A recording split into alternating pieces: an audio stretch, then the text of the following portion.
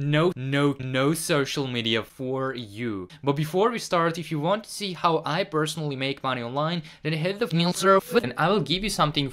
This is something we never talked about earlier and we never used this strategy before. Is that important to you actually? Well, absolutely not. It's just insane, crazy. Why am I telling you all of this? And no. And if you think that that sounds too good to be true, then just.